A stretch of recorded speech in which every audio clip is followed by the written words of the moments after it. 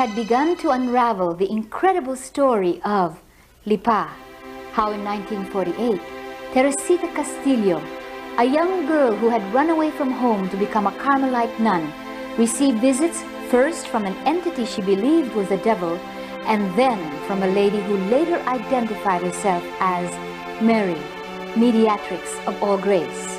The mediatrix spoke of prayer, penance, humility, the rosary, and concern for fallen souls, especially those of priests and nuns. During this period, the fragrance of flowers would fill the air, and rose petals would materialize out of nowhere and fall on the grounds, rooms, and even blanket the stairway of the convent.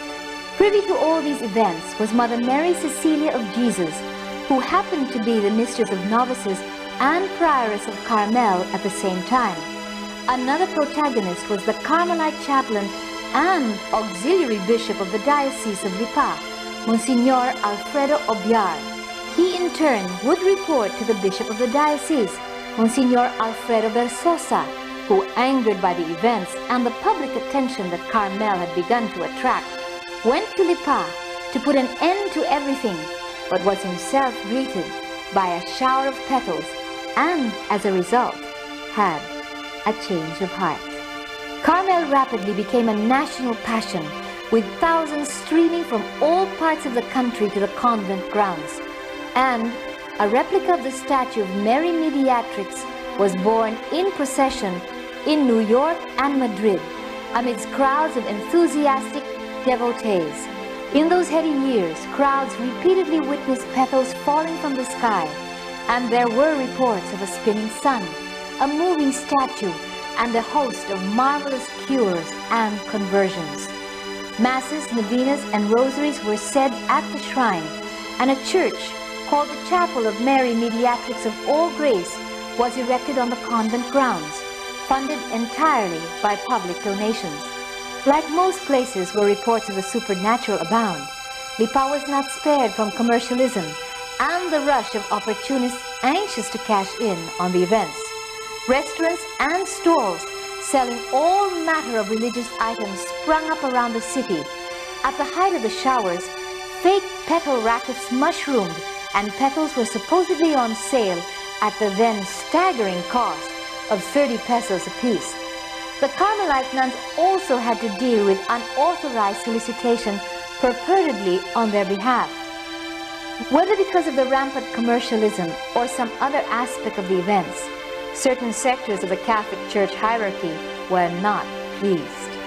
In this second half of the Keithley report on Lipa, we focus on the investigation that followed the reported apparitions, the results of which were to bring a rapid and abrupt end to what had been a most extraordinary phenomenon.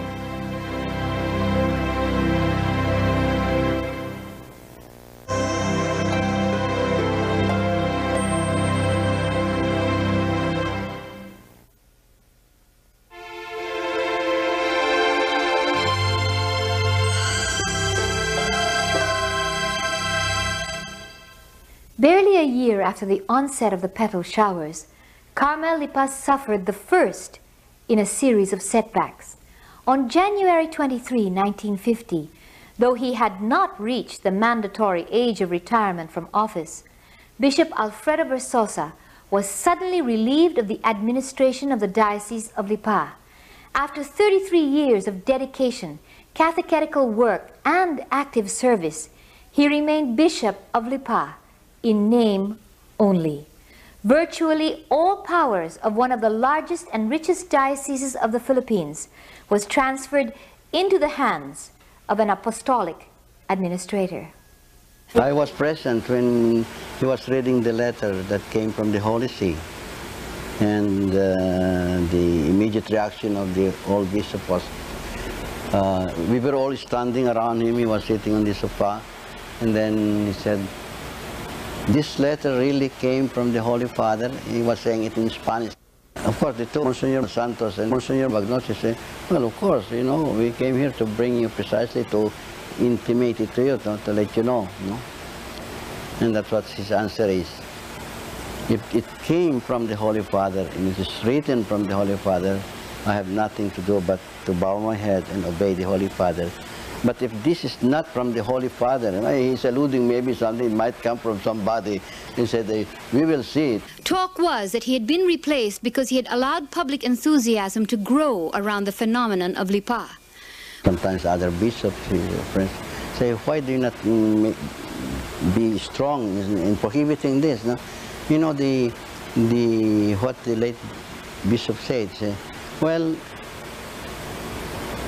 what power do I have? If it, this is really from heaven, I cannot do anything. If the people are uh, uh, receiving special graces or whatever this they are saying that they are receiving this, I cannot prevent them. Say, that's why I neither will will say no more, no, as a drastic uh, measure like that.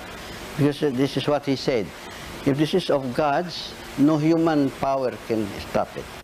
But according to Father Juan Coronel, then Chancellor of the Diocese of Lipa, Verzosa was replaced because he had mismanaged the economic affairs of the diocese, and that his removal had nothing to do with the events at Lipa Carmel. No relation at all. They say that uh, during all those years of 40 years administering the Diocese of Lipa, seems that the diocese became bankrupt, no? But uh, I know also personally that he became bankrupt and even his family, who is a very well-to-do family in Vigan, became bankrupt because was spending, he was so good. Extant documents at the Chancery of the Diocese at Lipa seem to buttress Pedernal's assessment of Verzosa's irreproachable character. Though Verzosa may have been thought a poor administrator, he excelled in the primary duty of his office, which was to bring more souls to the faith for he focused on establishing catechetical centers and sending catechists throughout the far-flung corners of his diocese.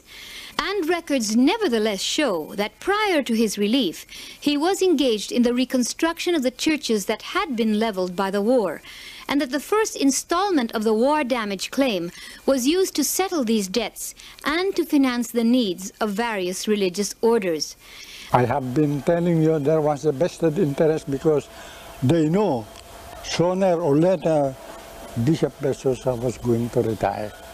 And there were people in Manila, of course, priests or Monsignor were interested. Church, Church of God, run by men.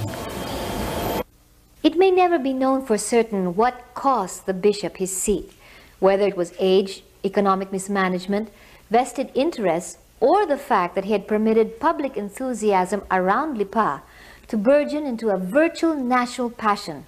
He has since passed away, and surviving accounts and testimonies somehow seem to be in conflict. Bishop Verzosa was replaced by Monsignor Rufino Santos, and it was under his authority that an official church commission was formed to investigate the apparitions at Lipa.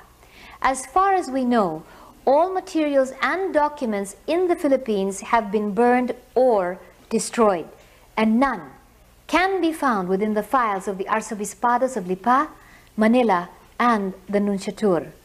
We know that a Carmelite father was sent by their generalate in Rome to conduct an investigation among the Carmelite nuns.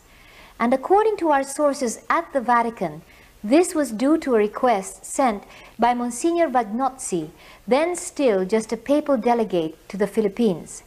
As far as can be determined, based upon the recollections of Teresing, other testimonies, and of newspaper clippings of the time, the local commission was made up of psychologist Father Angelo Blas, rector of the University of Santo Tomas, psychiatrist Dr. Leopoldo Pardo, Father Ortega, Monsignor Artemio Casas, and Monsignor Santos. When the investigation began, the distribution of petals was stopped and the release of official statements from Carmel on the apparitions put to a halt. The conduct of the investigation and its results, however, caused the congregation and the visionary much pain. Mother Cecilia, the visionary's primary confidant, and reportedly too a recipient of interior locutions, soon shared the fate of the Bishop of Lipa. On February 27, 1950, she was suddenly unexplainably replaced as prioress and mistress of Carmel. The whole community summoned to go to the choir, and so all of us went there. And then after, Monsignor Santos was in the middle and said, You will have another prioress from now on. Here is Mother Mary of Christ, and Sister Magdalene, Magdalene to be your mistress, because we can't say anything. And then she addressed Mother Cecilia, said, and you, Mother Cecilia, I'm giving you half an hour to pack your things. And no more. No more than that. So she left. I did not see her go because we were all told to, to wait there in the choir. And I did not know what happened, and, and I did not even know. I, yes, I, knew, I knew that she was going because it was announced to us, but the way she, she left, I did not see. When she left, umiiyak ang mga madre. Ako hindi ako makaiyak. I don't know why. But I was full. I was, really full na, na ano kaya? What's the next? Why? I was, I was full inside thinking, bakit kaya? Did Mother Cecilia do anything wrong? Or something, ganon, ano nga. Hindi ako, hindi ako napaiyak talaga. I just prayed. But the others talaga umiiyak. And then when I was in the choir for meditation, there, that was the time I started to cry. My first was suffering was that when our mother was taken. And we did not know where she would stay. And she just left us. And then, secondly, of course we know Mother Mary of Christ by name, but we do not really know her personally. And of course, that was a big pain for each and every one of us. But then, I, I- can see that the sisters were a little bit, bang, kabado siguro, ha? Something like that. Umiiyak, malimit, umiiyak, ganun. And then I did not know till later na, na ah, ito pala si Mother Cecilia was brought to Haro. Haro Carmel. They said it was for investigation also. In the meantime, the sudden reassignment of Mother Mary Ann Cuna, sub-prioress and infirmarian of Lipa, caused her family considerable consternation. Nawala siya. Mm, M- Isa may panahon na hindi namin nalaman kung saan siya nandoon. Tinatanong namin kung nasaan, hindi raw nila alam, sabi ng Marca Carmelite. She was told to ask then papal delegate Monsignor Egidio Vagnozzi regarding the whereabouts of her sister. Pumunta naman ako sa kanya, ano, umiiyak ako, sabi ko, Monsignor, sabi ko ganun. Gusto ko lang malaman kung nasan yung kapatid ko, si Mother Mary Ann. Ngayon sabi niya, ah, sasabihin ko na lang sa'yo kung kailan mo siya pwedeng makita. Perhaps the second most important witness to the occurrences at Lipa was Bishop Oviar. As auxiliary bishop of Lipa and chaplain of Carmel, he had closely monitored all the developments, had allowed the nuns to commission a statue, approved the release of the apparition story and messages to the public, and had even blessed the groundbreaking and foundation of the new Carmelite chapel. Obviar, too, was relieved of his position. He stayed on in Lipa at the family residence in a sort of limbo, so to speak, and only after a year was assigned to the Diocese of Lucena, demoted to the rank of apostolic administrator. So we, we were like that. And until the time that the investigators came over. And so we were, uh, uh, we were investigated one by one. There are no records of when this investigation at Carmel took place. Teresing remembers being questioned by Monsignor Artemio Casas and Father Ortega. Sister Elizabeth and Mother Mary also remember being questioned, but others claim they were not. I was never questioned. No, never. Never. Maybe if it happened these days, it would have been very much easier because you can ask questions now. Huh? Even from the priors, you can ask. You can have a dialogue, but that time you cannot. So we remained um, in, in doubt all the time, hanging in the air, not knowing what the next step will be in one meeting of the novices. And we were talking about that and said, yung pala, even Mother Prioress can be picked up like that. How much more us? We were telling like that, so all of us were really scared. Anytime, eh, hindi na kayo, ako nang susunod, sabi ko naman, because I'm the one um, connected with this case.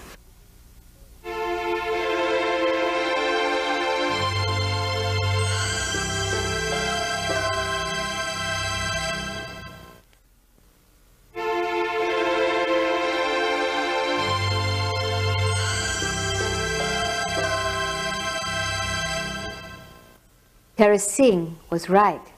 Soon afterwards, the postulant was picked up by Monsignor Santos and, chaperoned by Sister Stephanie, brought to the hospital of the University of Santo Tomas in Manila. ask him, bakit may sakit ba ako? I wanted to ask him, bakit ako dinala dito? May sakit ba ako? Ganun, no? But as usual, mortification of the tongue, you see. Because they say that when you mortify interior feelings like that, that is ano, yung better than any uh, external instrument of penance. That's much, much better. Yung interior. So I did, I kept my mouth shut. Teresing was subsequently interrogated at UST by psychologist Father Angelo Blas and a noted psychiatrist, Dr. Leopoldo Pardo. Father Blas was the first to question her. And he started asking me, do you have a tendency, in the family, do you have a tendency na, or do you have a member of your family who became insane? I said, not that I know of, Father, I said. Or any sickness, say, of the head, or the nerves, or something like that. I said, well, headaches, oh, yes, Father, I said. But other diseases, I don't know. The accusation of a lesbian relationship with Mother Cecilia also resurfaced. Three hours, I was, he was pounding on me for three hours. I kept, I kept naman, I was quiet, but I, I was firm with my, my statements. So he took one piece of paper, and then he gave it to me. Now it's signed up, he said. So, I, Father, I will have to read it first. So I read it. And it says there that everything is a hoax, fraud, and all my imaginations because I just want to be popular, um, to be loved like that. And so I did not sign. Father, I said, I'm sorry, I cannot sign this. He said, why? Because what what you what you have written here, Father, it's not true eh. Sabi ko, what I'm telling you is true, but what you're telling here is not true. So how do you expect me naman, Father? Please, I said, I cannot really. Then he, he, he, he got, he got mad. He got mad with me. And he stood up. Merong ashtray dyan eh. and he took hold of the ashtray. And sabi ko, katapat ko lang. Sabi ko, no, babato yata to sa akin. I was just thinking that way. He was holding and he, he had no cigarettes naman. So, I babato yata to sa I was telling to myself like that. So when he stood up, I changed my, I changed, no? I left my, the place, my place, and I, I, I, I went a little bit towards the right side, uh, left side. Sure enough, the, the ashtray flew. And so, I started to shake. My knees were shaking talaga ako. Siguro, somebody saw me. I was very pale. Siguro, I feel that way na I was pale and my knees started to, to give way. I said, why don't you like to sign the father? I said, I cannot really sign. Uh, how about, I said, kindly tell Arch, um, Monsignor um, Santos to kindly come here because I need him. So, facing siya. Ganyan, ha? Nakaganyan yung kamay. And, and then he said, you know, he said, that, do you know that even Carmelites can imagine things? I said, yes, Father. And then, do you know that being a Carmelite contemplative order has it has more tendency to imagine than active orders. I did not say anything to him. And so when when we were like that, father, I said, I'm not feeling well because I felt I was going to faint. I said, I'm not feeling well, Pap. Nabi ko talaga. So,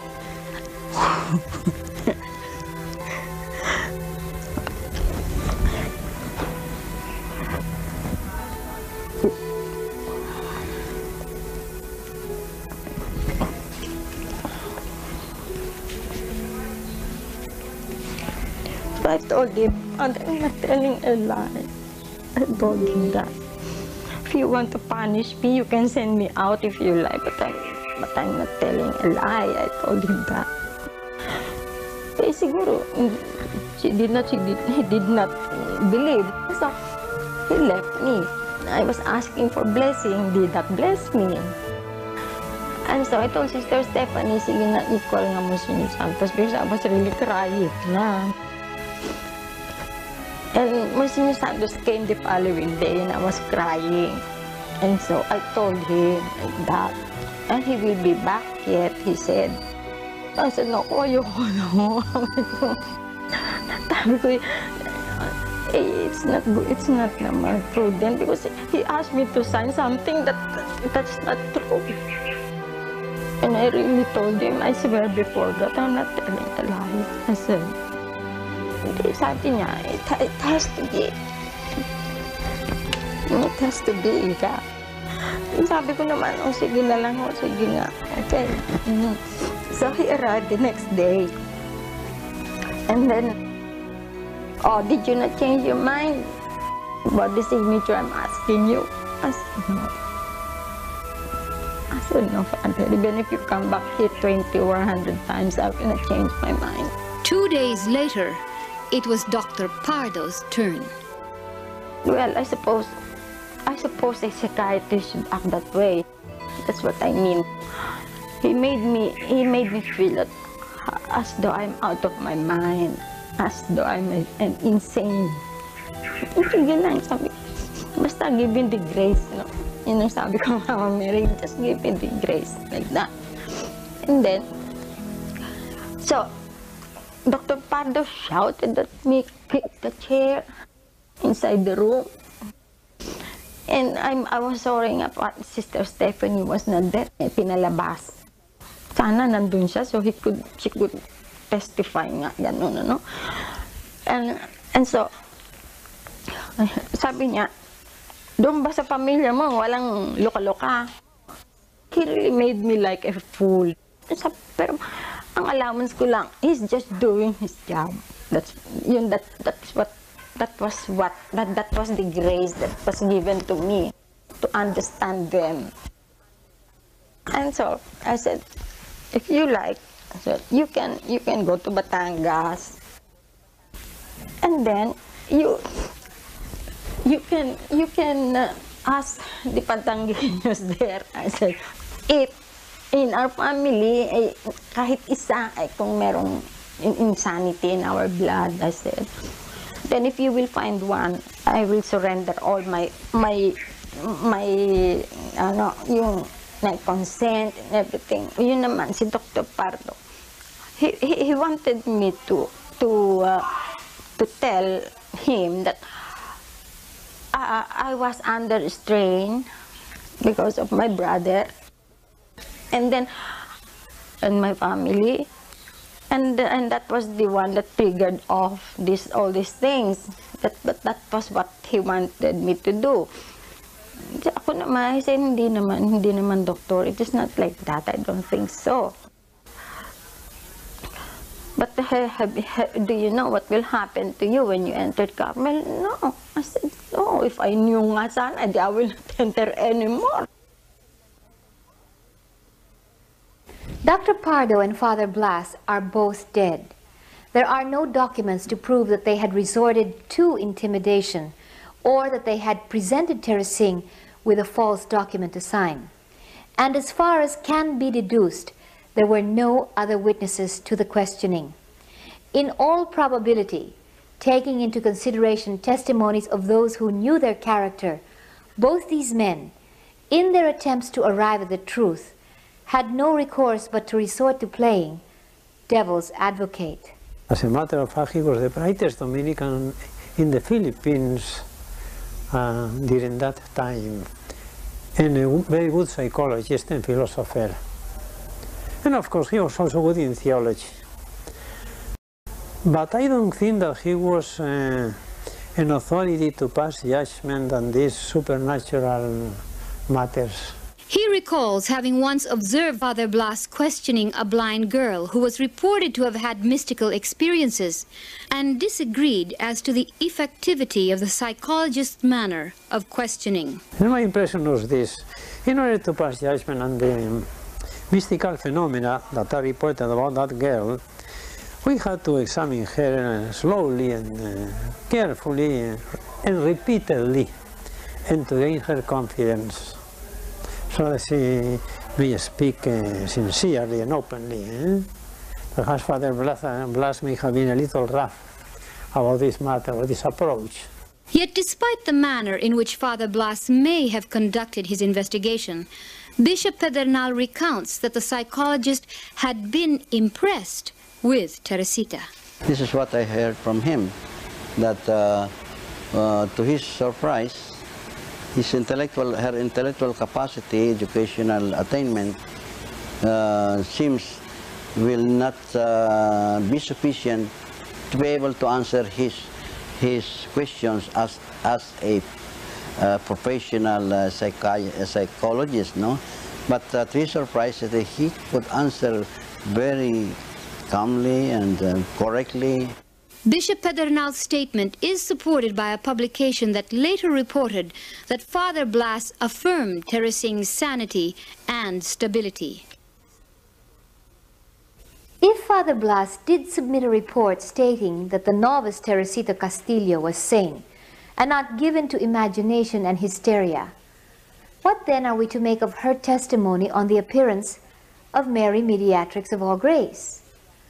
On what grounds did the investigative committee refute the supernatural character of the events of Lipa?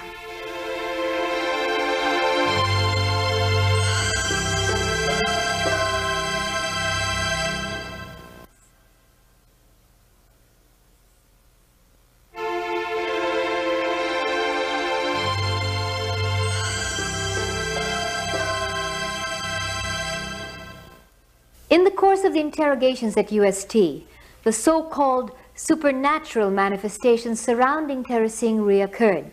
Sister Stephanie, who had previously witnessed other phenomena, was not surprised. Nung isang hapon, eh, during meditation, nasa UST kami, eh, eh, nakita ko uneasy. Nakahiga pero buma, bumangon, lumakad ganyan, pag ganyan-ganyan sa paikit-ikit sa kama.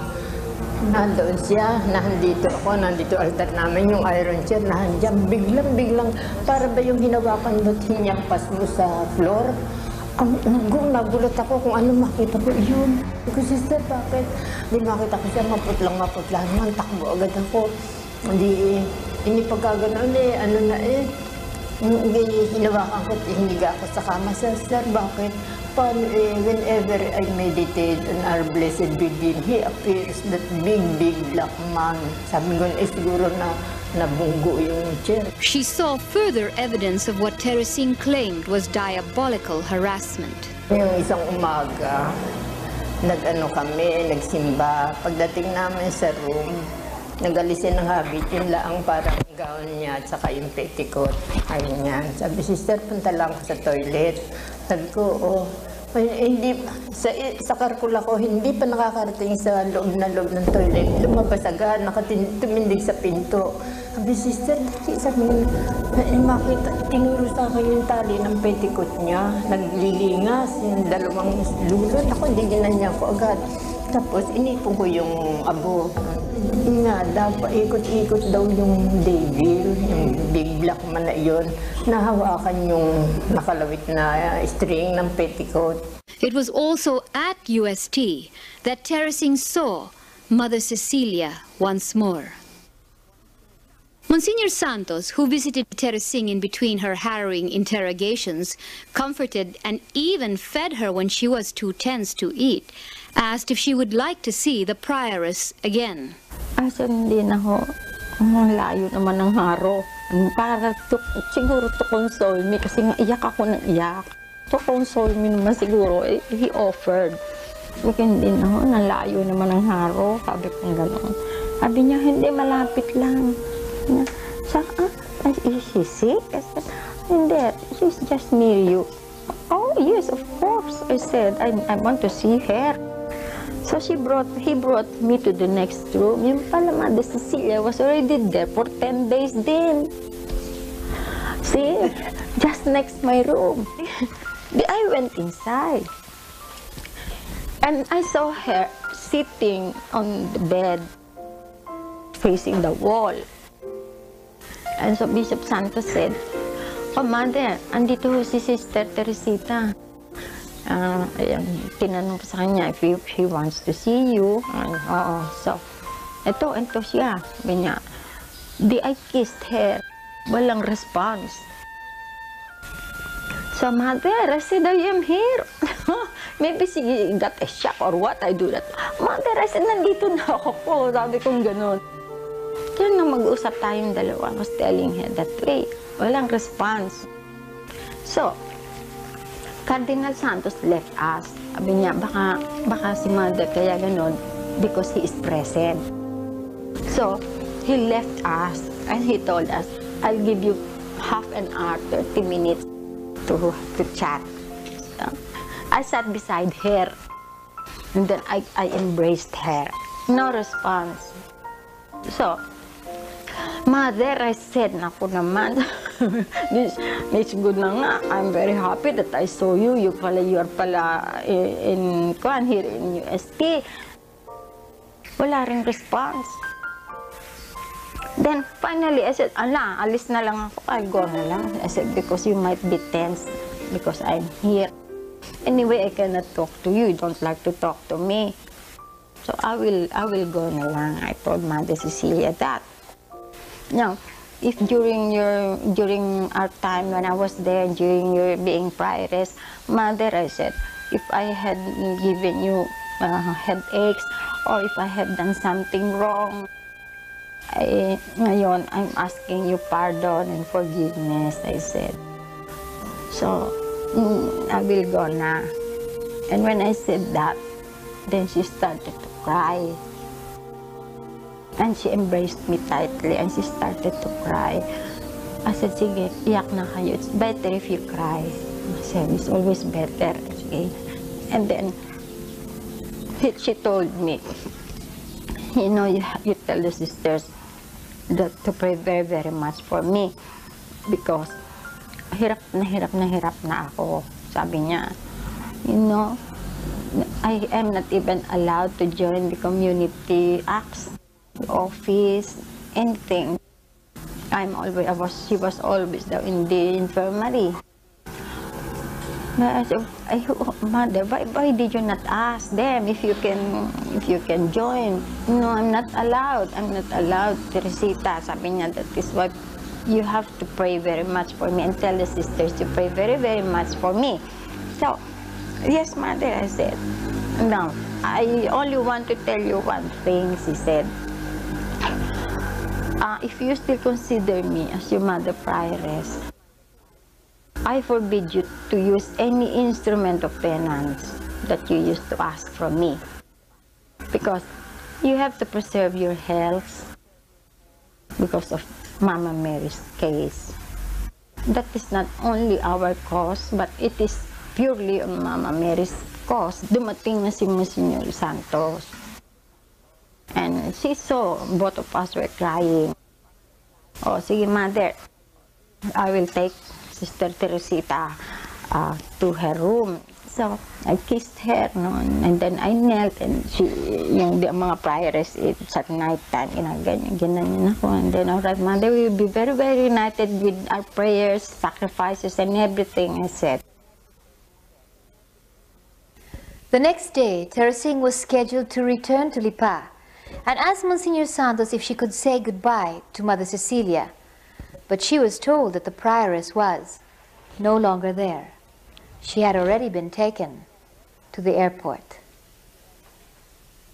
Sister Bernadette Bautista, one-time official chronicler of the Lipa community, shed some light on what may have transpired in UST. The former infirmarian Mother Marianne Cuna had been banished to Laoag and suffered the same fate as Mother Cecilia. Mother Marianne told me that she was brought to UST and there she met Mother Mary Cecilia. And, there, and they were questioned by Father Blas about the, about the event of, uh, of Lipa. And according to her, they were accused by a, a former sister in Lipa. I think a novice, but she didn't mention me the name. Mother Cecilia would continue to suffer from the ignominy of her banishment from Lipa. I could sense and I could feel within myself that she is suffering interiorly. Sister Bernadette Castillo's testimony and that of the other members of the Carmelite convent in Jaro, Iloilo, substantiates Teresing's account of Mother Cecilia's anguish. When she came here to Jaro Carmel, she, she was still not so, not, not so thin. But after, a, after, after some time, she became really very thin and almost emaciated because she, she eats very, very little. And she, she was not coming along with us during community acts. After, after our meals, she goes out and then afterwards, she, she just uh, retires to her room in the infirmary. Beside being barred from the recitation of the divine office and participation in community acts, there were reports that the prioress was reduced to the status of that of a scullery maid at Jaro Carmel. I knew her before I entered Carmel. She was a person so, so alive, full of life, and always joyful. Mm -hmm. But when she came here, there was no more life in her. And yet, despite these rather severe deprivations and her apparent distress, the Carmelite nuns would remember that Mother Cecilia never showed any signs of bitterness or anger. Our interviews with the Carmelite community of Jaro revealed that they too were witness to strange and unexpected events. Sister Mary Tayamora, the first Filipina to enter Carmel and now 82 years old, keenly remembers that period in their community life. Too shy to appear on camera, she nevertheless testified that on many an early morning she would see Mother Cecilia in the kitchen burning little pieces of paper, and one afternoon she and some other nuns were present when a shower of petals fell within the confines of the infirmary. The sisters had excitedly gathered up the petals but the former prioress maintained her composure, and when pressed for a reaction, quietly said, I feel so happy because our Blessed Mother is still following me.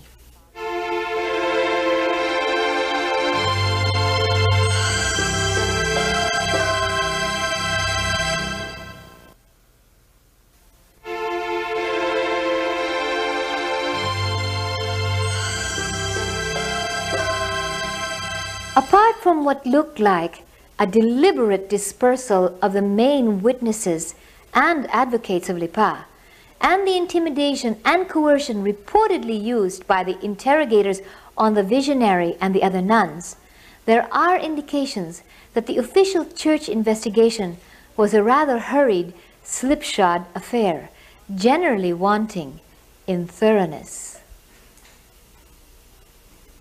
Bishop Verzosa, for instance, was never questioned, and, more importantly, neither was Bishop Obviar, who would, till his dying day, wait for official church representatives to come for his testimony.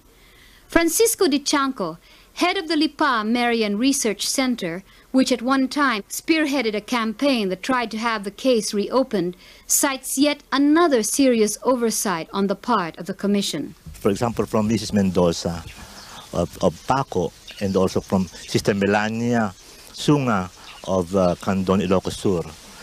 And I asked them if they were investigated, those miracles were investigated, and they said never. So I presume that uh, those who investigated Lipa only asked questions from the sisters and never investigated any of the miracles. On April 6, 1951, only two and a half years after the reported apparitions, the Philippine hierarchy pronounced its verdict. There was no supernatural intervention in the events that occurred at Carmel of Lipa. The decision was signed by six bishops, Gabriel M. Reyes, then Archbishop of Manila, Cesar M. Guerrero, Bishop of San Fernando, Mariano Madriaga, Bishop of Lingayen, Juan C. Sison, Auxiliary Bishop of Nueva Segovia, Vicente P. Reyes, Auxiliary Bishop of Manila, and surprisingly, Rufino Santos, Apostolic Administrator of Lipa.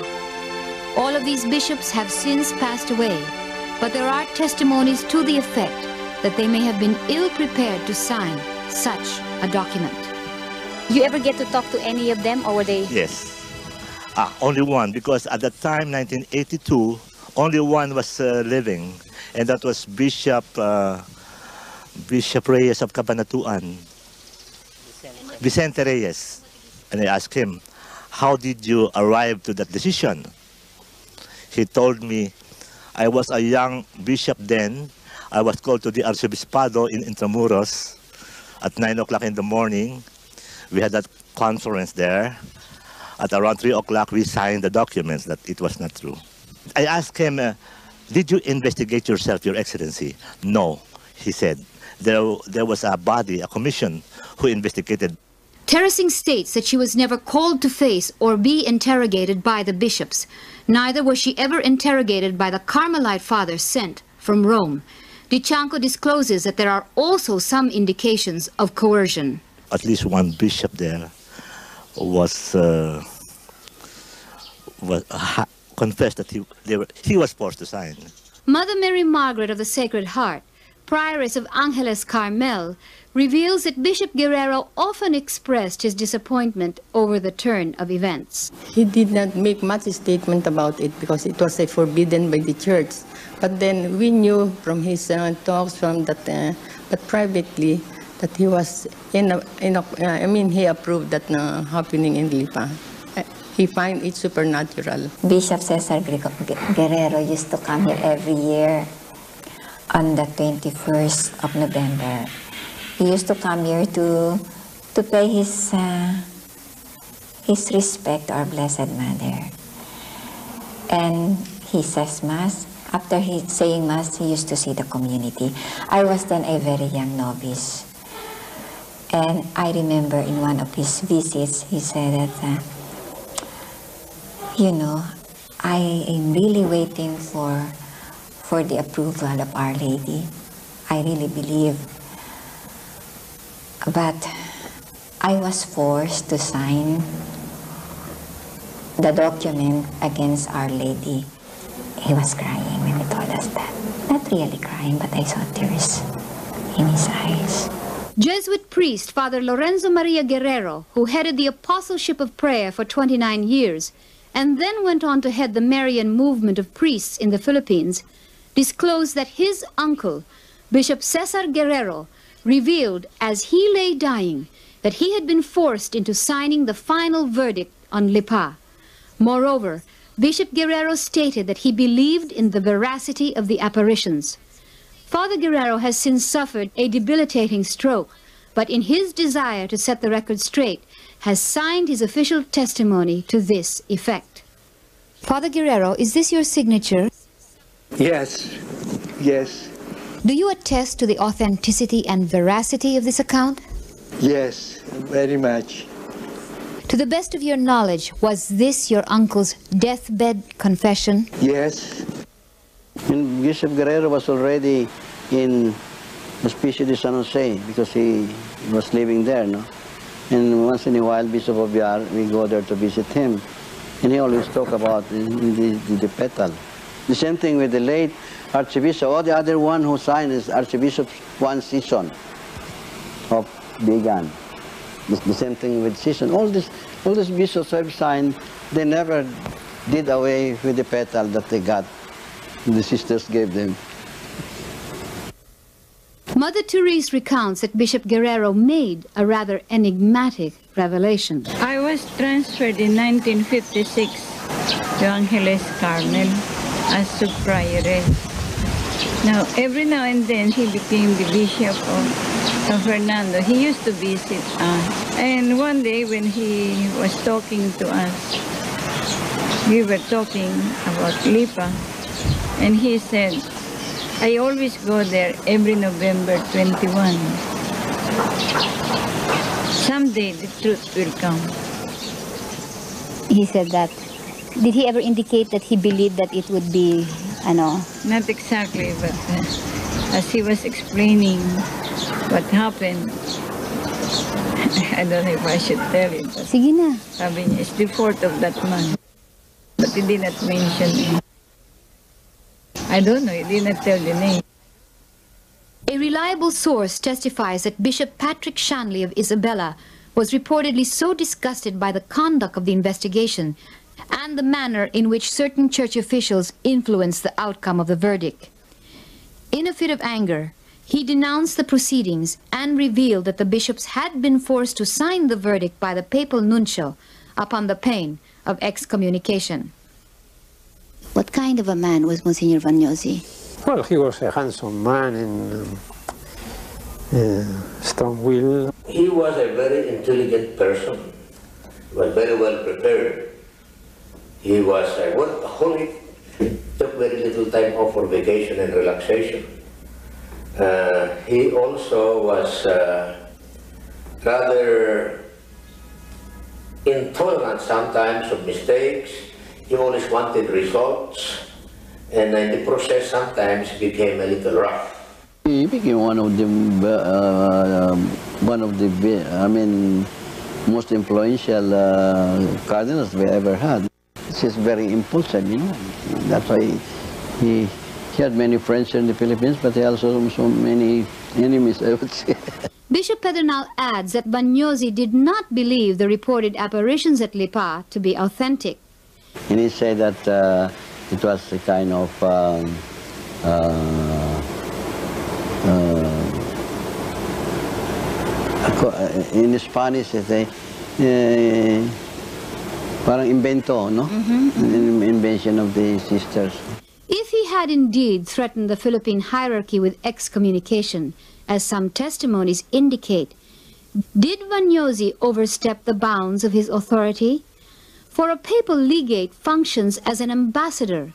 His duties are normally that of liaison between the Vatican and the Philippine government and hierarchy. Nuncio has no.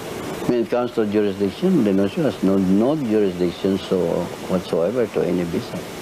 It is set, as you, I, I, I hope you know, uh, that the setup of the Catholic Church that every every bishop in his diocese is only responsible directly to the Pope, not to the nuncio. A, a, a, a bishop of, uh, of, for example, San Pablo must know uh, is not responsible to Cardinal Sin, even he is the Archbishop, but it's only to the Holy Father, direct to the Holy Father. I think he shouldn't have interfered with the matter of the petals. That should have been done by the Philippine hierarchy, by the bishops. Is it possible that they would have signed because they were afraid? It is possible, yes. It is possible that a white man in those times had a superiority, either real or uh, supposed, over the Filipinos, because you were still so close to the times of colonialism. Bishop Pedernal, however, indicates that the considerable influence of Monsignor Rufino Santos cannot be discounted. Bishop uh, Obviar. Obviar. Yeah, a good friend of Bishop Guerrero. Yes. And he said, why did you sign that? Uh, why did you, I know that you, you, are, you believe it. You always have your petal there in your... I said, in this late Guerrero said, you know, have to sign because, you know, the cardinal said we, we, we all have to sign. But I want to make known one thing. Yes. It was not Vagnozzi who decided the whole thing. The definitor generalis of the Carmelite order was the one who investigated the whole thing. He stayed in Manila for I think much as a month or two months. And this was in Lipa Monastery every day. And he used to go to the nunciature and made his uh, progressive report. And on the progressive report, the thing they were making this progressive report wrong. Mm. See, it was Father Michael, I think his name was Father Michael, who did all the investigation. So it was Father Michael whose decision was the overall fact the, the main factor that made, that uh, made him miss the decision. It was not Bagnos. We discovered that there were documents on Lipa still in existence in the archives of the Carmelite Generalate in Rome. Armed with a letter from Archbishop Gaviola, we went to Rome with the hopes that these documents would be able to shed some light on the manner of the investigation and the reason for the verdict. Strangely enough, there was very little on file on the case of Lipa. There weren't any records of who had been sent, why, and for how long. More importantly, there wasn't even an official report from Father Michael Moylan on the nature of his investigation or the reason for the negative decision on Lipa. This was, it was too, too prem, I would say not to say premature, but too, very too soon, you know. Apparently, many members of the church hierarchy believed in the apparitions of Mary at Lipa, but had unfortunately kept their silence. Bishop Pedernal relates the very interesting account of Monsignor Morelli, chargé d'affaires of the Holy See, prior to Monsignor Vagnozzi. Pedernal had accompanied Bishop Obviar on his visit to Rome and had been present at the meeting between Morelli and Obviar. Morelli started about this case of Lipa. He said, Bishop of Yar, why did the bishops in the Philippines, why did they not insist in asking the Holy Father to approve that the Virgin Mother, Blessed Mother, have gone to the Philippines, to Lipa? Because uh, I myself personally, before I left the Philippines, twice I experienced in Lipa what had happened in Fatima about the sunlight while I'm there in Carmel. And Bishop Obviar, you know, ordinarily I said, lumabas ang kanyang pagkabatang. He said, he said, speaking, they were talking in Spanish, he said, tonteria, he said, how, how, how is this possible? You were the, one of those who signed that this thing about the petals and about that is foolishness. And before almost say, senior, you know, at that time eh, I'm not a bishop, but he, he was insisting that I'm only a retired monsignor. In fact, Bishop of say, you are here at the, at the point of the nose of the Holy Father, so you tell the Holy Father, you, you approve that the Blessed Mother went to the Philippines there in Lipa. He said, what can I, I cannot do that. I, I am, I'm nothing here. I'm only praying as an old retired Monsignor, canon, canonigo. But I say, you bishops in the Philippines, you have more influence and power to tell the Holy Father, please, declare that the Blessed Mother. And so the bishop, uh, uh, afterwards, he was explaining, saying, oh, you said that when you were there, you said uh, you signed that document that there was nothing. Now you you telling me now that you believe that the Blessed Mother went there, no? And so I was joking, Bishop Obiara say, tama na ho, huwag na ninyong kagalitan, baka tayo hindi pa kanin. Huh? So during the lunch, and uh, before we left, again, Monsieur Morelli, he pulled out from his pocket, Monsignor, this petal, which I got from Lipa during the shower, will not be, I will never separate from this petal until I die.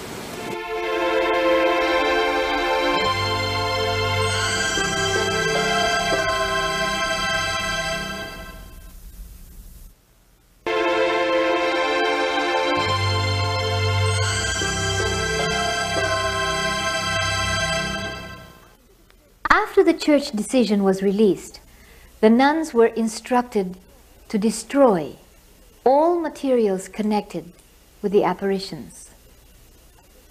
I think this is what, it was one week that we were burning and burning. Sinunog yung diary ko eh. Pati diary ni Mother Cecilia. Sinunog nila lahat. Leaflets, uh, books, um, novenas, everything. There were piles and piles and boxes and boxes. You had to burn all of that. We began burning. Then after about a week or less than a week, Mother Jacinta got sick. And after that, the whole community helped in crumpling the, the paper first. It extended to about a month in all. We as exorcisters, we had to burn our own pictures at saka yung petals. You burned? What did you burn, sister? Petals and pictures. Oh, I see. What about letters? Did you ever have a lot of letters? Wala. So you burned a lot of petals? Not a lot, but a good number. Mm-hmm. At saka yung pictures niya. Oh. What, these were the pictures of the statue. Oo, for Blessed Mother. Even the convent at Jaro Iloilo wasn't spared. Unfortunately, a young nun had excitedly showed her precious petal to one of the Carmelite investigators sent by the Generalate in Rome. And soon afterwards, Sister Mary Tayamora was ordered to burn all petals and material connected with the apparitions at Lipa. She states that as she did so, a gigantic blue flame issued from the small pyre, expanded to the height of four feet, and lingered until everything was consumed. The statue of the mediatrix was also ordered destroyed, but the nuns couldn't bring themselves to do so and devised ways and means to save it. The statue, we did not uh, burn it. It was uh, kept. And then it was in, in a corner and then it was um, covered with um, cloth. But they put a heart at the center to make it look like an Immaculate Heart. And they painted it blue. There was a time, and then it was exposed in the in one of the rooms, and then afterwards, I think, huh, when Monsignor Santos or somebody else came and said, "Do not do that," so it was kept again. Strict silence was imposed on the Sisters of Carmel. They were never to speak of the apparitions again. To reinforce this order, they were told that if they spoke about it amongst themselves, they would be guilty of a venial sin. And discussing it with outsiders would constitute a mortal sin and possible excommunication.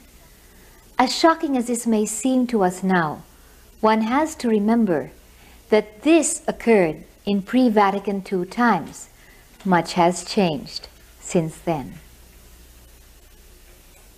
In fact, the, our superior from Rome came to us and told about it, not to speak about it anymore. Even Monsignor Rey- Reyes, the one who died, he told us, he brought us to the, to the choir and then summoned us and said, it is, uh, not, it is forbidden to speak about that Lady of Lipa. So we kept quiet about it. By declaring an absence of supernatural intervention in the events at Lipa, the Church had, in effect, implied that the entire affair was a hoax, and thus brought down upon Carmel a deluge of public detraction. But among the thousands of devotees, there was shock, pain, disbelief, and anger. I don't believe in that. I remember being very deeply hurt by all this talk. I could not, I cannot accept that it is not true. Ako'y para kong masama loob kay Monsignor Santos. Alam niyo ang hinihingi ko lang kay Mediatrix. Huwag lang huwag ng shower. Papagyuhin mo ng petal to sa obispong ayaw maniwala. I uh, sort of felt offended when I heard the news that uh, this was a hoax. Masakit. Masakit sa amin talaga. Because my faith is strong that that happening is true. Ari, yung alam namin totoo, ayaw silang maniwala kaya masakit sa amin. Even if the people will not believe, I believe. The first thing I told Mama Mary, please let me forget. No? Just please let me forget all these things, especially when I was out already. And just please let, let me forget. Mm, because I respect what the church declares. From the beginning, Carmel had its share of detractors, and with the release of the church's official pronouncement, skeptics had a heyday. The general rumor spreading at the time was that the nuns at Carmel were unscrupulous opportunists, conspiring and inventing stories of apparitions to make money for a new chapel. There was all this ugly talk. Can you believe na itong mga madring ito'y yapak? Tumutulog ay walang unang kundi kahoy, nag, nagpapakahirap. Itong mga, itong mga madring ito'y magdadaya. Sasabihin, yung mga flowers na yun yung galing sa itaas man na sila nag-ano. Kayo makakapaniwala ba naman ang ganun? I could not in my heart accept the fact that, you know, that a hoax could be perpetuated by holy nuns, particularly Carmelite nuns, you know, who are known for their faith. Hindi napakalaking kasalanan kaya kami nandito eh, para magpakabanal eh. Kung gagawa nun, eh, di mas malaking kasalanan namin. The sister never had uh, an intention of building their chapel. I would say that as religious, I think, uh, impersonally, I cannot believe that they just want to deceive, just to build a, a church in their convent, and they, want, they will deceive people like that, you know? There was talk of a blower hidden within the convent, which the nuns purportedly used to create the famous petal showers. Sister Bernadette relates that Mother Marianne Kuna suffered especially from this talk. She had difficulty in Laoag because uh, I think they were not believing.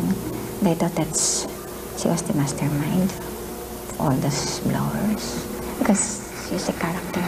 She's stronger than Mother Mary Cecilia.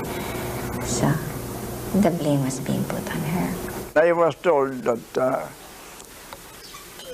the sisters use a blower to blow the petals. But I could not believe it. Being a technical uh, engineer, I know the effect of a blower. One, it makes a lot of noise. So those people there, they will uh, notice the noise and then inquire why. Second, when you blow something, it goes in a este, uh, direction due to force of gravity. But in this case, the petals just happened about 10 feet high and fell directly below. And besides, a big blower cannot uh, reach probably 50 feet. And what happened with Mrs. Cason was about 70 feet away. How can it reach? So I could not believe. I can testify. We have no blower. Because I'm doing cleaning the whole, we had only that, that whole cloister, no? And I used to work in the basement. I didn't see any blower. And did you have electricity in your cells? No. In 1948, did you have electricity in your rooms? When I entered, there was none. There was no electricity. None. Uh, so, did you happen to have electric fans? None. Okay. So you had no electric fans. Therefore, the theory that there was a blower. Uh, I do not even know what is a blower. Yung, because in the, the province, is it not, we blow like that. Akala ko yun yung blower, yung pala eh, ganun eh, malaki daw yun. Retired General Godofredo Juliano, then the commandant of Lipa Air Force Base, attests that the petals could not have been thrown out of an airplane or helicopter, as he would have been aware of the air traffic in the area. He too had witnessed one of the famed petal showers. But I was not able to see anybody. I, in fact, went also a little beyond back of the side of the chapel to see if the, any of the windows were open. All the windows were closed. I could not determine the source from where they came from or how they uh, started falling on the courtyard. Guillermo Milan, then 35, who had fallen away from the church, did more than look. Convinced that the nuns were playing tricks, he clambered up a tree, positioning himself with a brownie camera next to what he saw was the only open window of the convent's second floor. And a little later, people began to cry, shower, shower, necks craning up as a fragrance filled the air. Dahil salita, ako'y huli ko na ito. Yung ito iuhulog, madre. Ako'y talagang reading ready. Doon sa, ay naku, ang pangyayari ho, talaga ako'y kinikilabutan. Bakit ito? Ang mga tao nagtingala, wala nakakakita. Ako ho nakakita. Mismong isang petal na above the, pa- paano magagali sa bintana?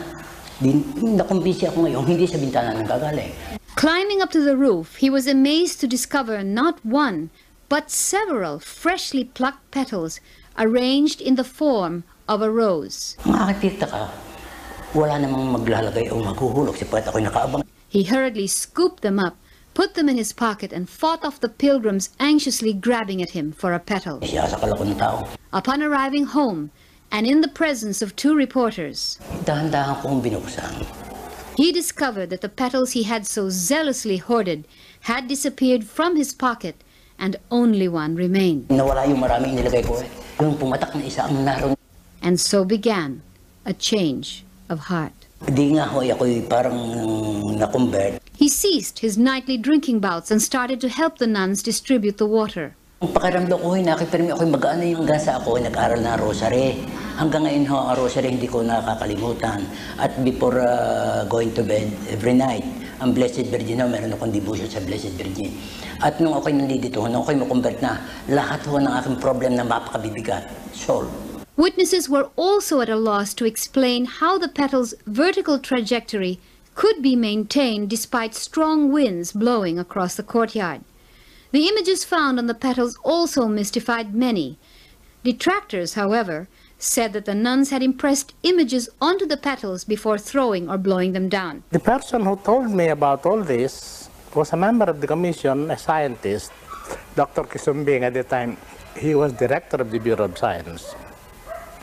And he told me about how all this whole thing was a hoax, it was fake, that some unseen hand or hands had, you know, imprinted this outline of the Virgin on each of the petals with painstaking patience, I imagine. Dr. Quisumbing's declaration that these petals were earthly and not heavenly ones elicited comment from some newspaper columnists who questioned his expertise by asking if he had ever had occasion to examine any petals that had originated from heaven. Despite what seems to be a lack of hard evidence or logical basis, the hoax theory has remained remarkably resilient over the years.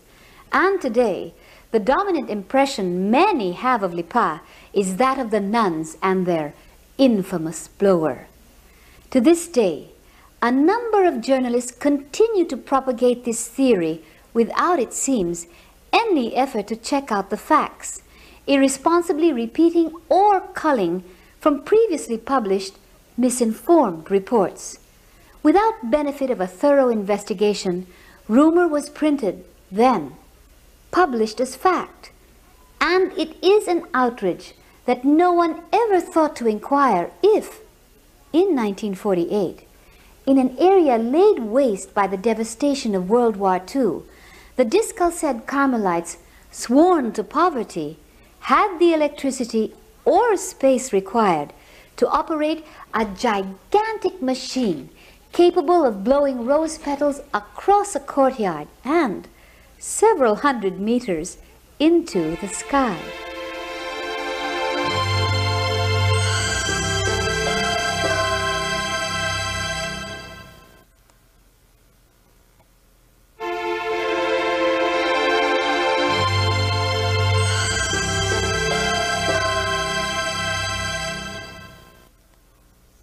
The Lady Wand of Persecution, and eerily enough, all those associated with Carmel were vilified and made to suffer. Stringent sanctions were imposed upon the community at Lipa. Yeah, our vows were, uh, I mean, were delayed.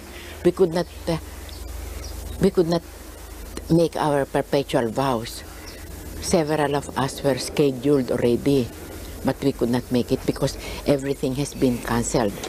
It took years. It seems 90, it, it seems, I don't remember, but it seems 1953 only, something like that, or mm. 54. And also the simple professions of the sisters and the clothings of the sisters were delayed. And then aside from that, the, we could not receive aspirants. The files of the correspondence between the new prioress and the diocesan administrator bears this out. And not only were the doors of Lipa Carmel ordered closed to applicants for the religious life, but also, despite repeated pleas, to hired help and any outside assistance. It is also curious that in several chancery records documenting the history of the Diocese of Lipa, all evidence of the existence of the Carmel community has disappeared, and it is not even listed among the religious congregations residing in the area. The nuns were constantly berated by priests who came to Carmel to lecture and scold them for their alleged misdeeds. I remember one of them eh, when he came and then we served him, no? But that was already after that. He said, oh, you see, you have plenty of things to serve because you made really, you really made money and you bought all this with that money that you fooled the people. It is humiliating because to be told that uh, you are the dishonor of the order or uh, of the church like that. For a long time, Sister Elizabeth single-handedly supported the entire community through begging and was solely responsible for all of Carmel's external needs. She recalls that it was a very painful time, for she would be sneered and laughed at as she went about her duties in the outside world. I had to run here and run there, go to the town. And then, yung mga sinabi na, kami daw lahat ang nag-invento, nag, nagpayaman daw kami. Masakit, masakit. Teresing subsequently left Carmel in 1951. She had been asked to do so, purportedly because she had not completed the residency required of a novice due to her frequent sessions with the commission at UST. However, instead of sending her away, Mamer, one of the foundresses of Lipa Carmel, instructed her to leave of her own volition as this would enable her to return. Hindi ako. Yak ako nang iyak sa, sa, uh, sa convent, no? And then I left. I went to my parents.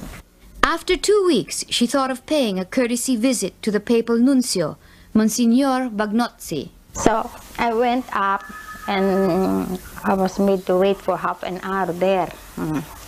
Then when he came out of the door to see me, I stood up and I was mm, going to kiss the ring. He did not want to give the, his hand, no. And then I said, um, your, you, ano, your reverence, I said, I just came here to let you know that I, I left Carmel for treatment, no. And he, he drove me away. He said, you little devil, he, told me, you better get out of my place. He said that. Then I knelt again, I said, please give me your blessing. He did not give me my blessing. He did not give me any blessing at all. So, then I heard that he shouted at me, nearly pushed me out of the door. Ha? Because, hindi na lang balik.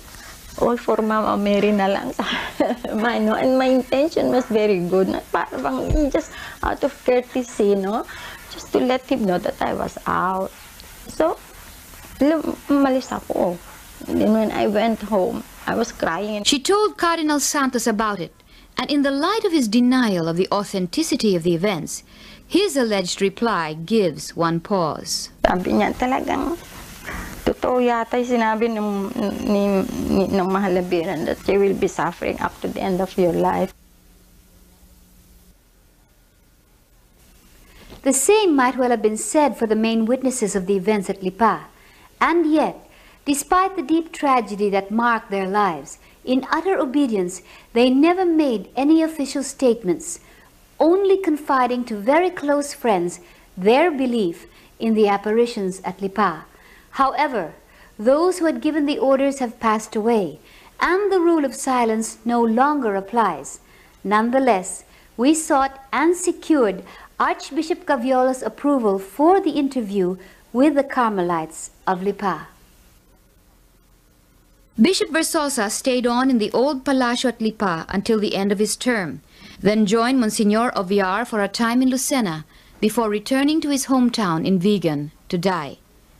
Sister Bernadette recounts that Mother Marianne Cuna remembered the day the bishop came to say goodbye to the community at Carmel before leaving for Vigan. He could not tell them that he was leaving, but she told me that he was crying and the only thing that he said was in patria, in heaven. Monsignor Gregorio Salvatus, Verzosa's secretary in Vigan for 27 months, described the aging bishop as a broken man. A sickly old man, nervous, he was depressed, but he never complained. To his dying day, the bishop was said to have treasured a replica of the statue of the mediatrix of all grace. This is what he told me that he didn't like to dispose of the image of the Virgin in his baptistry. It has remained there. Bishop Pedernal opines that Monsignor Obviar was also thought to have been party to the nuns' alleged scheme, and this was perhaps the reason for his removal as auxiliary bishop of Lipa, and more importantly, what kept him for so many years from his position. It had puzzled much the hierarchy because the hierarchy is very much aware of the good things and everything, His holiness of life and the activities and the, the, the growth of in, in the diocese. You know? I remember one year or not even less than one year before he became ordinary, the late Archbishop uh, Archbishop uh, Lino Gonzaga. no? He was then the president of the Bishops' Conference. I was already bishop. And the one time he, he cornered me there in Baguio. He said, what do you know about this? Why is Bishop Obviar until now, after three petitions of the whole hierarchy of the Philippines, asking the Holy Father to appoint him as Bishop of Lucena, not just as apostolic administrator. Can you tell me something, enlighten me why? So he said, you tell me, if Cardinal is the one that is blocking, are you willing to come with me to Rome, personally to the Holy Father? Are you ready to tell the Holy Father everything you know about this, what happened, why? Yes, I said, I'm willing to go. But you know, after that talk of us, after one week, came out the appointment as ordinary of the Senate. Kaya hindi na natuloy yun. He was always uh, telling me that he is fully convinced that there, is, there was an apparition. Whether he was that's genuine, the really, the was really miraculous, the way shower of petals. The only thing that he lamented was that uh, the shower of petal was for a very uh, immediate was being commercialized and there were fake petals that were being distributed. He hoped that it would be reopened. It is curious that Obviar was later to found a religious order which he named the Missionary Catechists of St. Therese. Therese of Lisieux, or the Carmelite nun called Therese of the Child Jesus, is also popularly known as the Little Flower, and is the saint for whom Teresita Castillo was named, for her mother had made a novena to this saint in the hopes of begetting another daughter. Teresing claims that the little flower had at times accompanied the Virgin in her visits to Carmel and had even greeted the novice on her feast day. This saint is commonly associated with roses. In fact, the church beside the Generalate in Rome of the Carmelite Fathers contains an effigy of the body of Saint Therese, and in the glass case is a copy of her writings and above it the words, From the heavens I will let fall a shower of roses.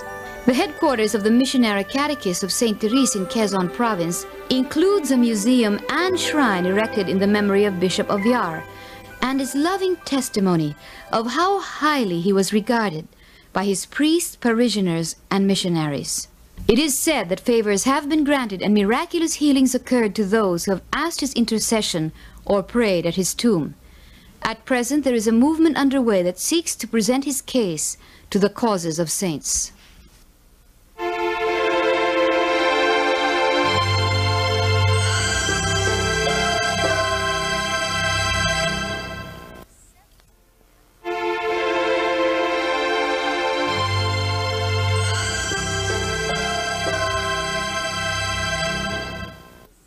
Mother Cecilia stayed at Jaro for 13 years and was brought back to Lipa only on March 14, 1963. She spoke very rarely on the apparitions, but one of the nuns report that she had indicated that when she died, everything would come to light. According to Mother Amy, who was prioress at the time of her death, Mother Cecilia must have had a premonition of this, for she asked permission to go. In other words, to die, in order to hasten the vindication of Mary, mediatrix of all grace. Shortly afterwards, on December 13, 1982, she fell from the stairs. It was the staircase of the novices. We were farther in the recreation of the community. And they heard a big noise, and it was Mother Mary Cecilia. She was lying down on the floor. She struck her head on the window sill, then from the window sill to the cement floor. And she was bleeding very much. But she was still conscious. When, when we when we when we uh, when we brought her up, uh, she was still talking. So I think she said only, "It's painful." Like that only. And then she was brought to the um, infirmary, and we called for the priest for the last anointment, anointing. And then she was brought to the hospital. But she was already unconscious when she was brought to the hospital. And that evening she died. A week before her death, however, Mother Cecilia telephoned Teresing, requesting her to come to Lipa as she had something very important to say. But Teresing was bedridden with fever and asked what it was as she could not come immediately. Nagka-hint lang ako dyan nung sinabi niya na, you know, do you know that Mama Mary is so beautiful? No? Mother, sabi ko, how did you see? Did you see her? I was in the telephone. No. Naku, iniba na naman ang istorya. Mm, naka, ganun eh, nakakabigla ba siya? Teresing had suspected that Mother Cecilia had seen the Virgin, and on one other occasion had questioned the prioress about this, mentioning that a younger Vietnamese sister had caught her in the hermitage conversing and laughing before the image. I was telling her, oh, di siguro talaga, you, you, you are seeing Mother, Mama Mary. And I, I'll, be, I'll be very happy. I'll be very, very happy. Sabi ko, ganoon. Change na naman ang, change na naman ang conversation. Sister Bernadette recalls an equally intriguing conversation she had with the prioress. This conversation had taken place in front of the statue of the mediatrix. She said that uh, this statue, she, she's already 18, uh, she looks 18, and this statue, she looks 18, but in reality, she looks only 15 years old. Sister Bernadette regrets that she did not pursue this conversation, for it had certainly occurred to her at the time that the prioress must have seen the Virgin to have said such a thing. On still another occasion, Sister Bernadette heard that the Virgin had consulted Mother Cecilia on the position of the statue's arms. I asked her, is it true, Mother, that you were the one who told Our Lady that you would prepare her to be with extended hands than on her breast? She said, yes, because she looks more motherly with that position. These enigmatic last remarks of the prioress is one of many signs that the story of Lipa has not yet ended. For even way back in the 1950s, circumstances seemed to prepare the way, as it were, for the reinvestigation of Lipa at some future, more hospitable time. Teresing, for one, was prevented by her deteriorating health from returning to Carmel, where access to her testimony would have been difficult. Some of the nuns who were vital witnesses likewise left Carmel for a variety of reasons, a circumstance which enabled them to speak freely on the events either as lay persons or as members of other congregations, foregoing the need of obtaining permission from the Bishop of Lipa.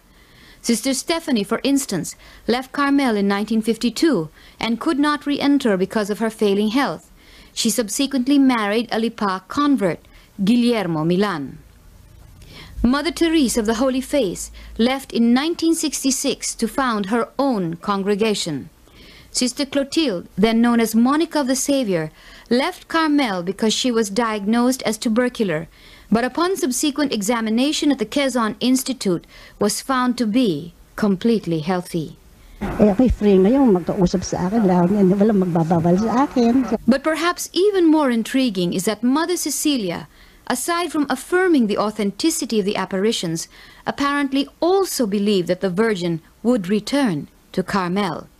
Two weeks before her death, she spoke again to Sister Bernadette. She told me that uh, the year is ending and Our Lady is not yet here. Because she's always expecting that Our Lady is coming back. Testimonies as to Mother Cecilia's character also make it difficult to associate such a woman with deception, especially on a large scale as would have been necessary for a phenomenon like Lipa. Mother Cecilia was known for her virtue and her gentle, motherly care, and was very much loved by all those who came in contact with her. I don't think she was telling the, any lie to us. Yes, I trust there. Why did you trust Mother Cecilia? I know she is good. She is a holy, she is a holy woman.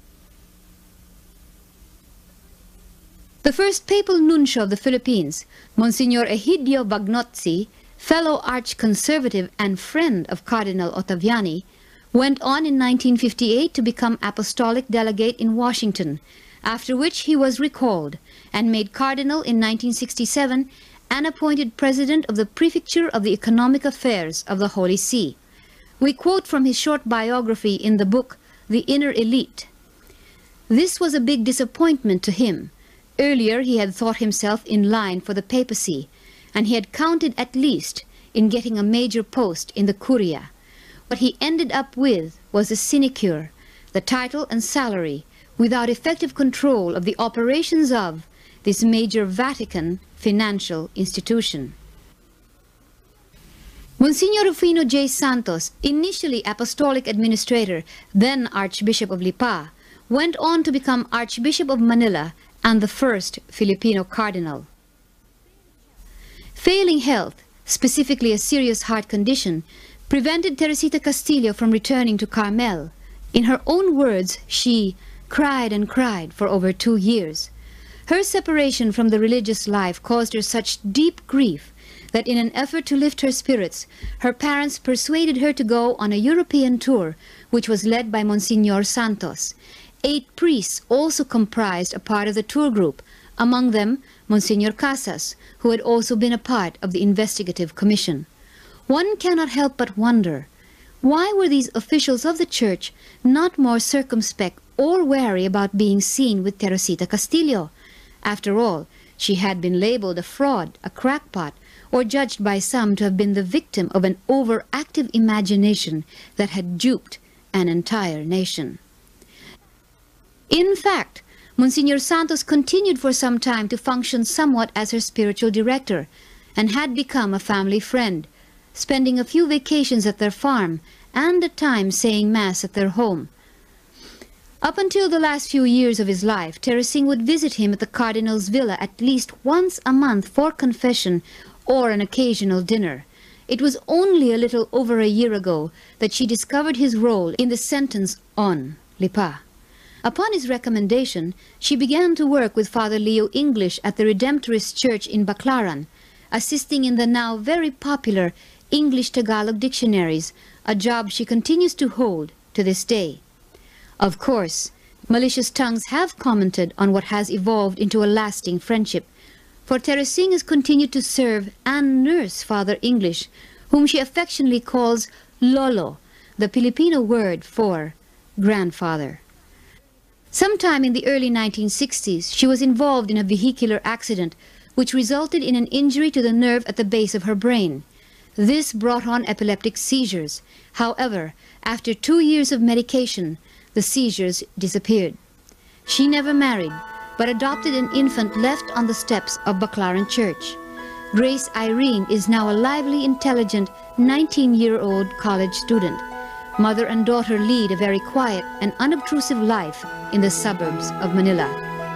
In obedience to the church, she has never spoken publicly about the apparitions, nor issued any statements to the press, despite the proliferation of newspaper and magazine articles maligning her and criticizing the events of Lipa. However, because of the escalating demand to reopen the investigation, and after much prayer and consultation with her spiritual directors, she reluctantly consented to tell her story.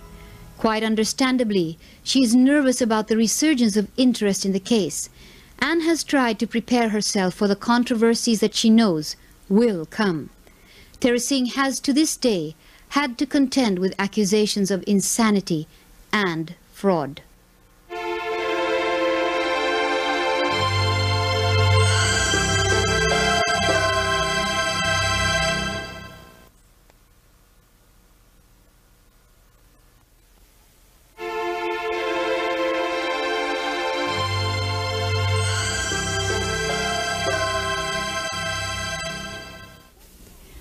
Caused the church's rather hasty pronouncement on the apparitions of Lipa? Premised as it was on questionable grounds and on what seemed to be a rather flawed investigation. Such efforts by the church hierarchy to clamp down on reported supernatural manifestations also characterized other supposed apparitions in other parts of the world. Since 1933, more than 200 other presumed revelations have suffered the same fate. It is curious, though, that there was a series of so-called apparitions that occurred in the late 1940s that somehow seem related to Lipa. We refer to two in particular. Our Lady of All Nations, which began in Amsterdam on March 1945 and lasted for over 14 years, and the Great Mediatrix of Graces, which occurred in 1946 in Marienfried, Pfaffenhofen, Germany. In Marienfried, she requested, as she did in Fatima, and as she was said to have done two years later in Lipa, for the Saturday devotion. And the apparition of Amsterdam was by far one of the most controversial, as it dealt, as did the apparition of the Virgin of the Revelation in Tre Fontane, Rome, with the incorruptibility of her body, and surprisingly, with a pronouncement regarding the development of a last dogma in Marian history. It is pointed out that though there have been two negative pronouncements on this apparition, the much celebrated statue of the Virgin of Akita, whose locutions and accompanying supernatural events have been recognized by Bishop Ito and upheld by the Japanese Conference of Bishops, was inspired by the painting supposedly requested by the Lady of all Nations. In this apparition, she called on all Christian peoples to band themselves together and asked that the theologians see their battle for the Marian dogma through to the finish, assuring them of her help, revealing that she was being sent by the Lord and Master who wanted to give this world spiritual oneness. I come as co-redemptrix mediatrix at this time. Co-redemptrix I was already at the Annunciation. This means that the Mother became co-redemptrix by the will of the Father. Tell your theologians this. Tell them, moreover, that this will be the last dogma in Marian history. This picture shall prepare the way. Have this picture brought to the whole world, and thereby I mean the whole world, not only your country. The world is degenerating. The world is being afflicted with disaster upon disaster. The world will be and is, economically and materially, at a dead end. Wars will continue until the Spirit of Truth comes in with His help. Get the people back to the cross. Canon René Laurentin, theologian, leading Mariologist and author, explains that especially during the post-war years, the Catholic hierarchy as a whole was simply not predisposed to such mystic phenomena as apparitions of the Virgin Mary or of any other heavenly being. In his report on the Church and apparitions, he points out that there was a period of effective repression and that apparitions suffered from the great severity of Cardinal Alfredo Ottaviani, assessor of the Supreme Sacred Congregation of the Holy Office. We quote, This rigorous and traditional man was responsible for the matter of private revelation and took harsh action through his decisions and imperative orders to bishops. It was through his influence, so it seems, that Bishop Heylen, who was favorable to the apparitions of Beauraing, was removed from the decision process. He was very severe for apparition and uh, charism, special, extraordinary charism. Uh, he put uh, hand to different causes of canonization, like uh, Yvonne Aimée de Malétroit or uh, the Polish uh, sister Faustina. Uh, I think during the war it was troubled time.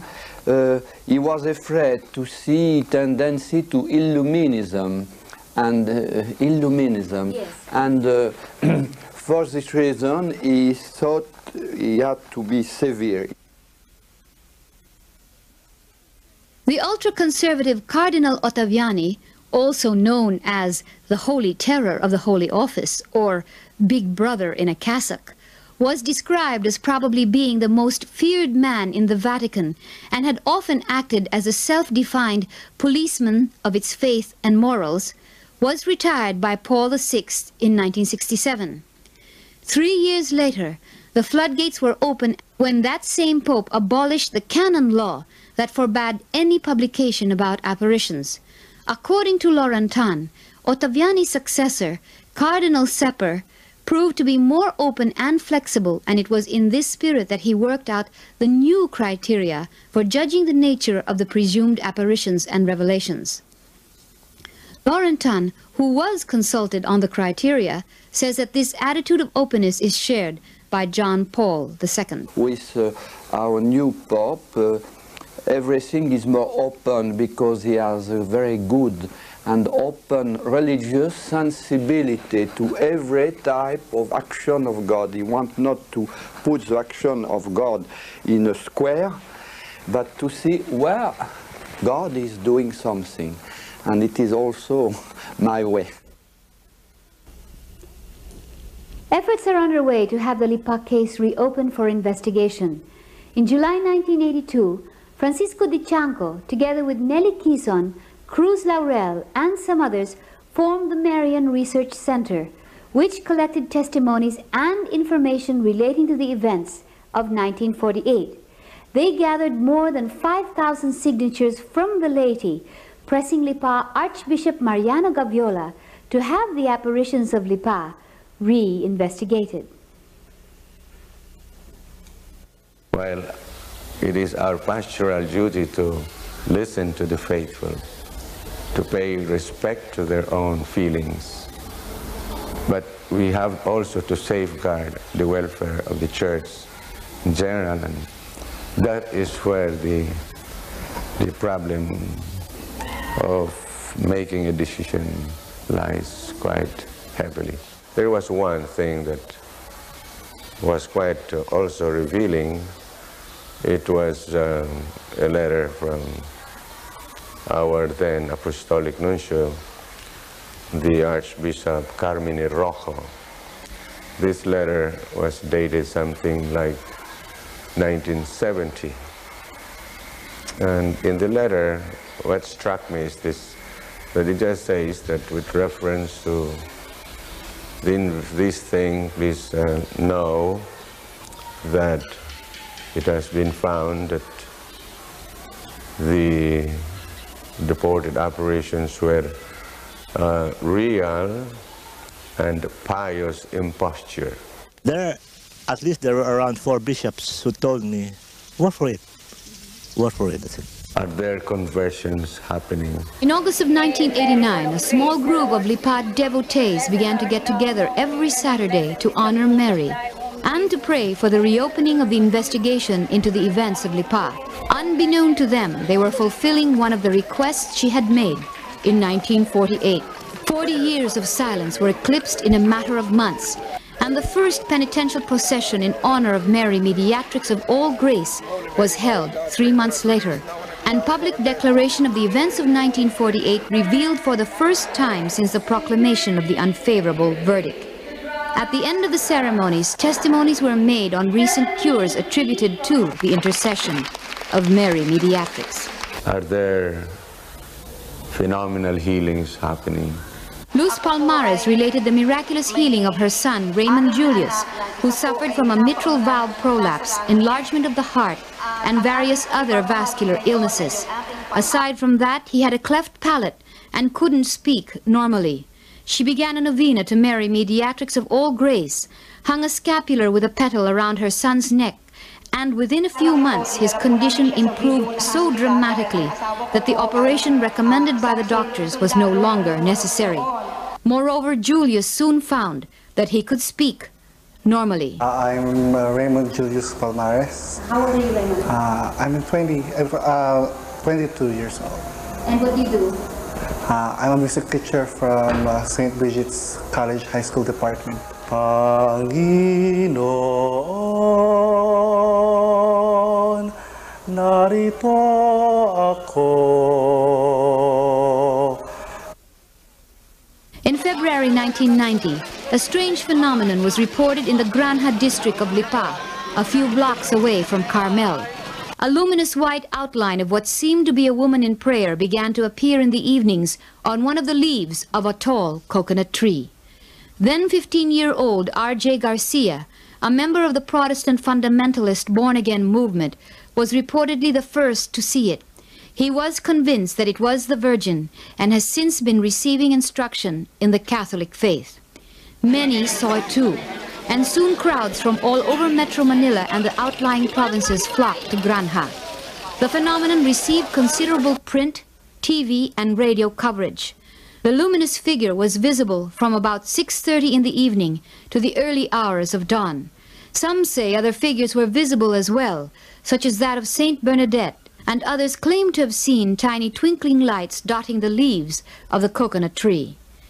Some theorize that the image was merely projected onto the leaf by some trickster, or the reflection from the nearby lamppost. But others counted that it couldn't have been a reflection, as the image would remain intact on the leaf no matter the direction the wind would blow it to.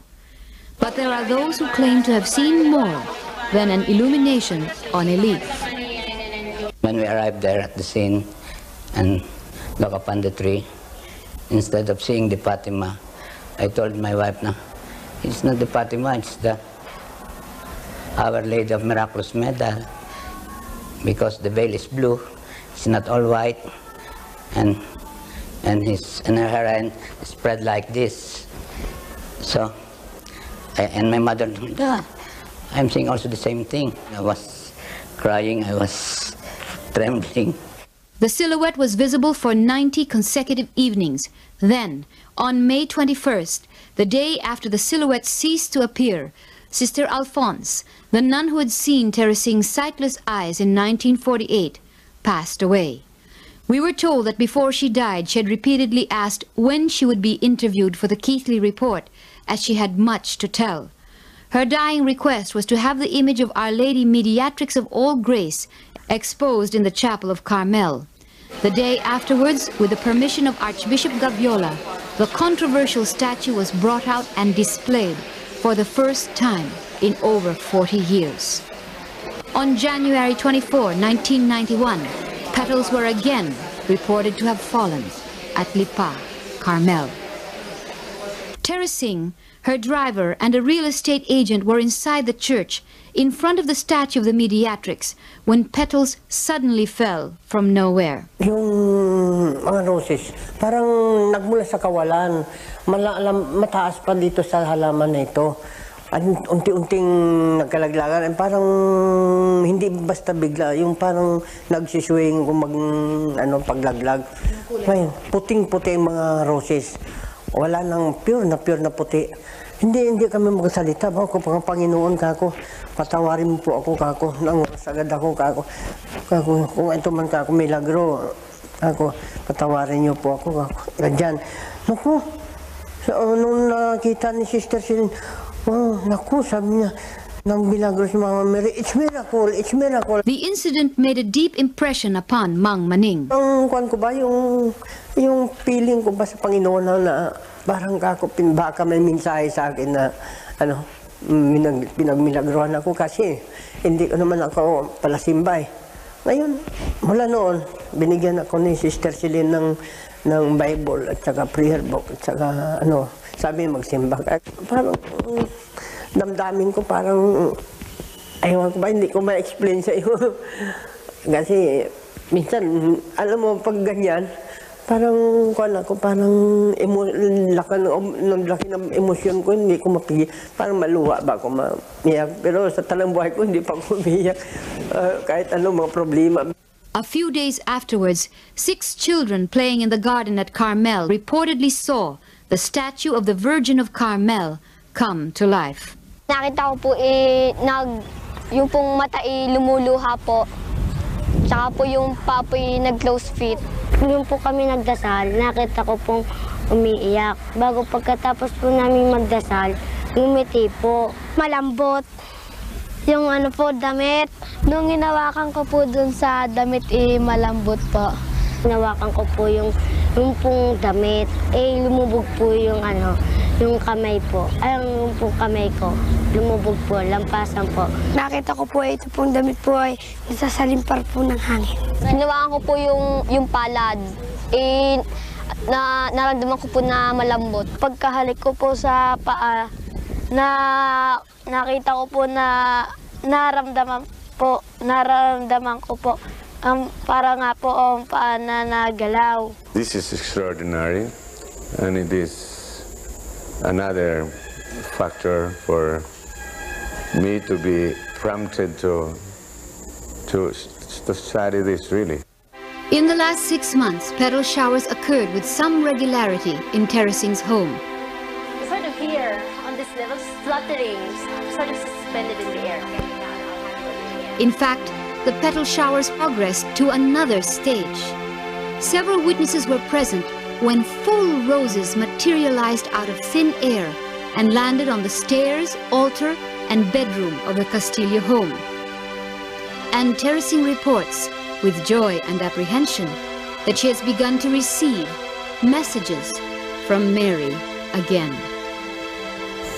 At all we are going to reopen this, we will do this as secretly as possible, as, as privately as possible, so that the composition or the members of the commission will not be under some sort of uh, too much uh, pressure and they might be exposed to